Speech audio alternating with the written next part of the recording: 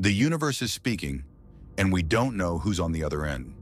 For decades, astronomers have been picking up mystery signals from space, bursts of radio energy that seem to appear, then vanish. The most famous is the WOW signal, recorded in 1977 by a radio telescope in Ohio. It lasted 72 seconds. Astronomer Jerry Ehman circled it in red pen and wrote WOW beside it. To this day, no one knows what caused it. Since then, dozens of fast radio bursts, FRBS, have been discovered. Some last a fraction of a second. Others repeat, like FRB 121102, detected again and again from the same region of the sky. They're brighter than entire galaxies, but no natural explanation fully accounts for them. Most scientists believe they're from collapsing stars, black holes, or extreme cosmic events.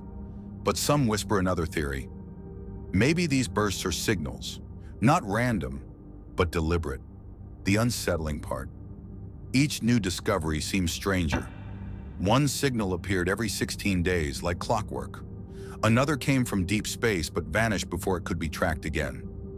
We don't know what's out there, but space is speaking, and the silence between signals might be the scariest part.